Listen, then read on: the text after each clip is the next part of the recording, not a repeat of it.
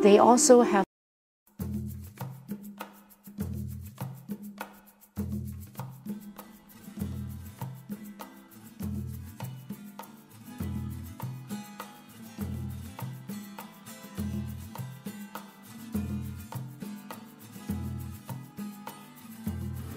The first time they take me there, uh, riding the car on the highway.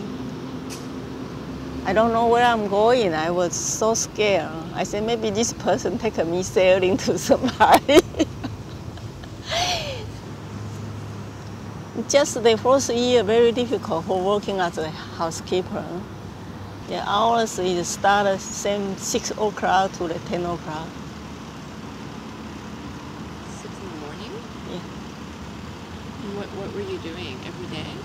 uh, prepare the food for them to eat. And after they gone to work or school, you clean the bathroom every day, make their bed every day. When they come home, you show them, I finished this, I finished that. They're happy. They say, oh, you work, you don't just sitting there sleeping or watching TV. They don't let you like um, do nothing. For example, evening time after dinner, you have to prepare the food, cut piece by piece, let them eating, and after they finish, you have to wash the dishes. So it's the time almost 10 o'clock. And even they say you work eight hours a day, but who working in the housekeeper never working eight hours, always more.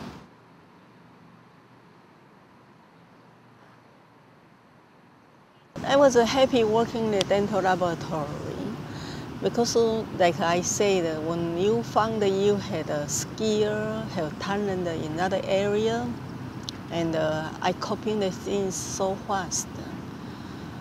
So I feeling like uh, I have good hand to work like that. I find like uh, sometimes in the lab people, not really every boss treat you equally. I don't think so. They say the uh, Oriental people working hard, so they don't care how to respect you or give you equal work. They think you have to do a lot of work. Doesn't matter. The boss ask you do this, do that. You got to follow there. But uh, some that if you are Canadian, you work there, you might say, no, that's not my job. My position is here. Five o'clock, you finish job, you going home.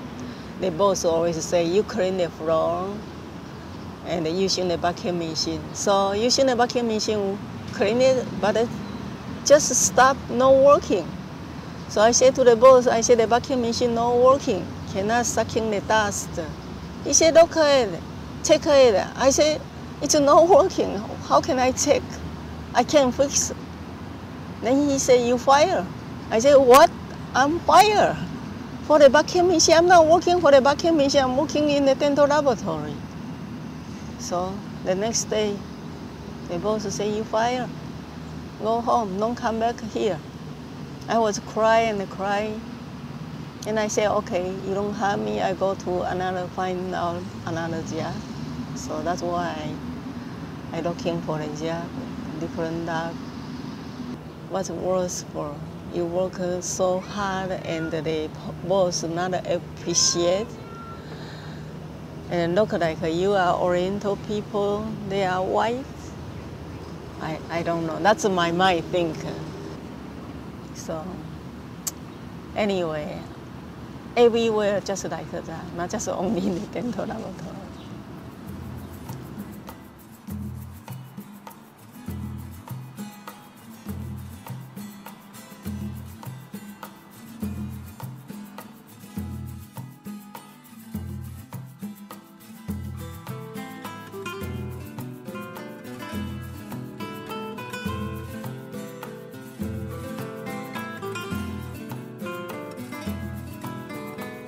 Okay, my name is Harinath Dishasan.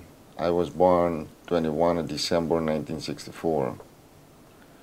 I originally from Guyana, South America, and I was immigrant.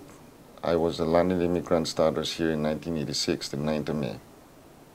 And um, my wife came for a year later in Canada here as a landed immigrant status, which I sponsor her. And um, I got a child born 1989. We were living, I bought a house. Um, I was working two jobs as a cook, I'm a chef.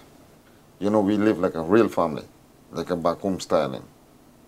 And we live better than even to some standard that some people here too because of some people, they don't care about family here. You know, these change, the, the, the, um, the North America really changed people's lives. We all barbecue, have a nice time. I eat, we all eat, we packed up. We ready to go. And we three Indian guys was inside my car. I saw the police car, you know the light. Exit out of the car, put your hand on top of the car. He pushed me to the ground, kicked me on my back. Then after that, he hold me down and he stamping me. And this one female officer come like this, come around this way, and take the button and strike me two times here on my left temple.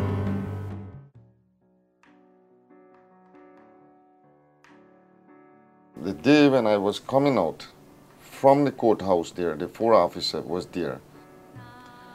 And one of them mentioned that we will get you back. But I just ignored them. I just go about my business. The following day, the 24th of April 2004, I was pulled over. I was charged for refusal unimpaired.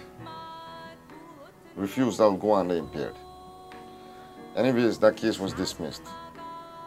That's right there is mal militia prosecution and harassment. When I see police, I get panic. You know, like I get shaking, or, you know, I scared and I'm sleeping tablets, I'm on depression tablets, Risperdal, Effexor, and Percocet. I took those medications. When I took those medications, sometimes my back like just give. I can't move. My everyday life is so for me. I cannot cook. I used to cook.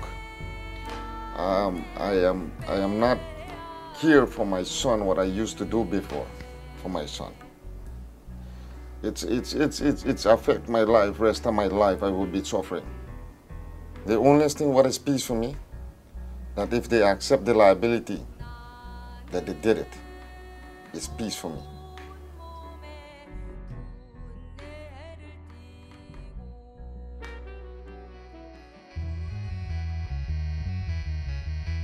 I find that um, like this settlement process, it's, it's almost like a myth. I do have some clients who have been in Canada for their entire life. They still feel that they cannot really truly call Canada their home because of the kinds of issues that they face, even 20, 30 years after living in Canada. So I think the first thing uh, we need to do is to make sure people understand that poverty is a systemic structural problem.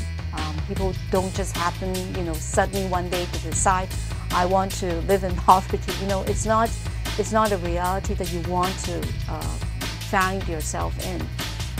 It's only by recognizing that that we can start thinking about and talking about the solutions.